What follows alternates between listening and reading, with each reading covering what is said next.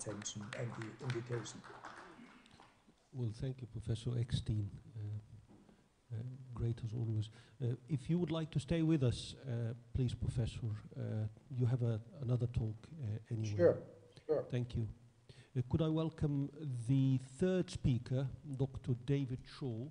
Dr. Shaw is a consultant vascular radiologist at Leeds Teaching Hospitals, UK, and he is going to talk about stabilized techniques in type B aortic dissection.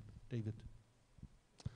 Thank you. Uh, I'd like to start by uh, thanking Professor Suleiman and the Egyptian Vascular Club for this uh, to uh, to this meeting. I've really really enjoyed it, and I've also enjoyed the very warm welcome that I've received. Luckily, most of what I've just going to mention has already been talked about by Professor Eckstein, so we can rush through a number of these slides. But my uh, task today is to talk to you about a technique for type A aortic dissection, which hopefully leads to total aortic remodeling. I have no conflicts. So just a little bit of background, which we've already really heard, but just on this slide, the, de the detail here is that even though it's not very common, it's dangerous, it kills, and optimum medical therapy is the one thing that significantly reduces mortality. TEVAR has now become the standard therapy for type B dissection, but TEVAR alone, uh, but for uncomplicated dissection, the debate continues, and we are looking for more features that might predict poor outcomes in the long term. Obviously, the role of TEVAR is to cover the primary entry tear, increase the true lumen diameter, but what it has been found is that it also promotes false lumen thrombosis and aortic remodeling. And it's this aortic remodeling that can le lead to improved long-term survival. One of the problems of TEVAR alone is that about 30 to 40% of people will have false lumen expansion in the long term over the next two to five years. People have tried other techniques to promote false lumen um, uh, thrombosis in the thoracic aorta, including the Knickerbocker technique and the Candy plug technique. The Candy plug, I believe, is not overly, is not e easily available, and Knickerbocker um, hasn't been used extensively.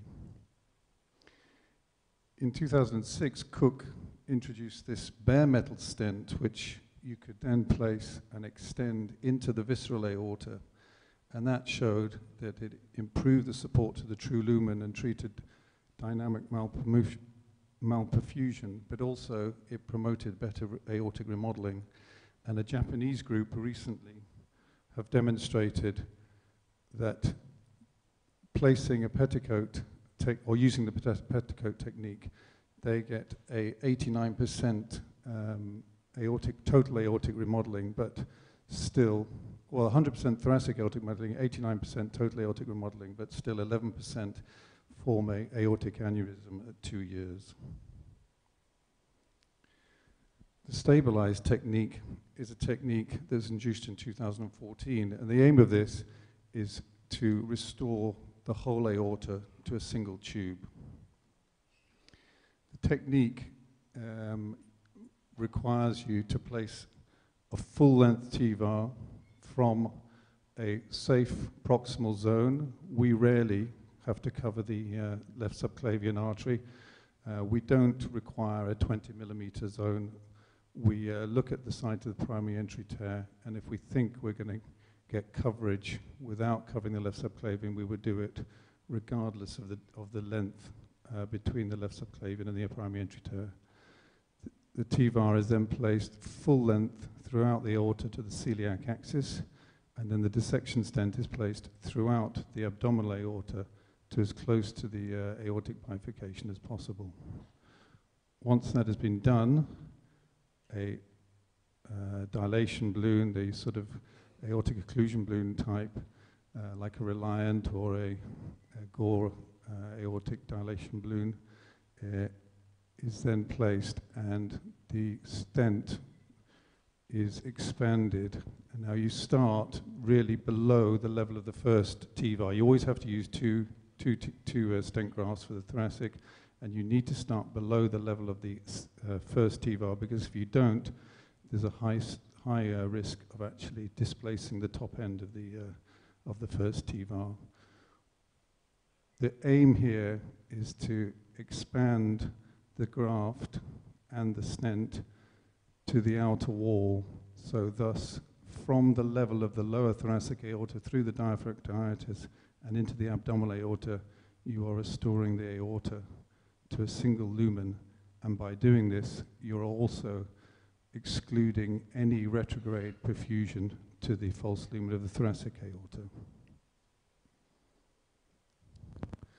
The timing of intervention is important, and we tend to try and reserve any stabilized technique to greater than 14 days. And if we have to do something before 14 days, we will just do the TEVAR and petticoat, and then we will come back and complete the procedure in a second stage. So this is a case that I'd like to show you, which is a 54-year-old male who presented with a typical history, has typical um, uh, cardiovascular risk factors, and you can see he has this type B dissection extending down the. Uh, sorry, I just wanted to stop that, but never mind. Can we just uh, get that to run again? So type B dissection extending through the thoracic aorta, through the abdominal aorta. You'll notice the left renal artery has a static involvement uh, and then it extends into the common iliac arteries. So this was initially treated as uncomplicated. He did have a small deterioration in renal function, but that improved without uh, any intervention and just with hydration. And he was transferred back to the normal ward after four days. But unfortunately, he, there was a failure to control his blood pressure on oral medication. And due to his refractory hypertension, he had to be transferred back to the HDU and required further IV therapy and monitoring. He also had, as you can see, some adverse morphological features with uh, a, large uh, total size of aorta and a large false lumen. Uh, and therefore, he was reclassified as complicated rather than uncomplicated, and a decision in, to intervene was taken.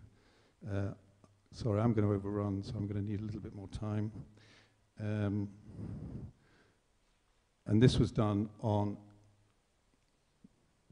day 16. The full, the stents were placed, and I'd just like to show you a video of what it looks like when you are rupturing the lamina. Um, because you have to realize that um, it's not without some sort of fear that sometimes you do this. You'll notice that a balloon goes up, and what you're looking for is this sudden give as the lamina ruptures. And we do that all the way down to the all the way down from the lower thoracic aorta. Sorry, my uh, I can't. Uh, I need that to run, please. Throughout the abdominal aorta to the level of the aortic bifurcation.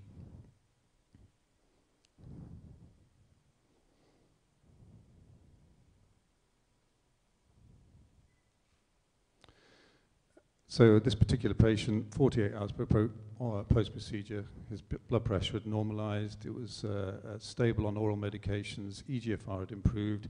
He had no pain, and there were no neurological symptoms. His pre-discharge CT demonstrates that his false lumen had thrombosed, and the abdominal aorta in the treated segment had gone to a single lumen but obviously just above the aortic bifurcation there remained a dissection. At two years, he came back for his uh, uh, follow-up, and you can see that the aorta is completely remodeled now. There is no false lumen. It's a single lumen all the way through. Uh, you'll notice that we did put a stent in the left renal artery, and that remains patent but he's got a single lumen all the way through to the untreated segment at the lower end of the, th- of the abdominal aorta. He's also now got normal renal function.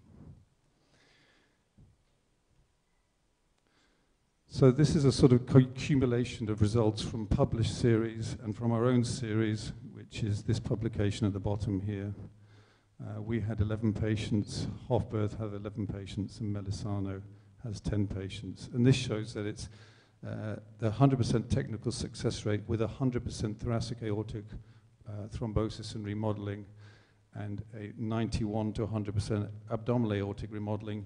But even in those patients who have a persistent false lumen in the abdominal aorta, at 30 months so far, there's been no aneurysmal degeneration. So we think that will prevent uh, any need for uh, further intervention in the long term.